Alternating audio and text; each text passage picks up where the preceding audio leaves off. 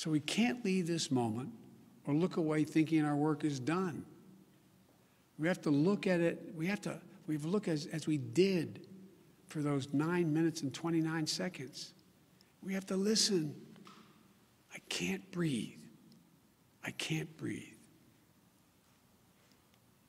Those are George Floyd's last words. We can't let those words die with him. Nothing can ever bring their brother, their father back.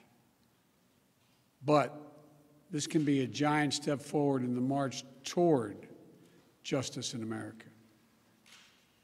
Let's also be clear that such a verdict is also much too rare, and there are those who will seek to exploit the raw emotions of the moment, agitators and extremists who have no interest in social justice, who seek to carry out violence, destroy property, fan the flames of hate and division, who do everything in their power to stop this country's march toward racial justice. We can't let them succeed. Today, we feel a sigh of relief. Still, it cannot take away the pain. A measure of justice isn't the same as equal justice.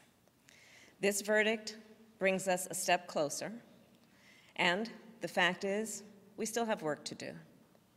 We still must reform the system. Because of smartphones, so many Americans have now seen the racial injustice that black Americans have known for generations.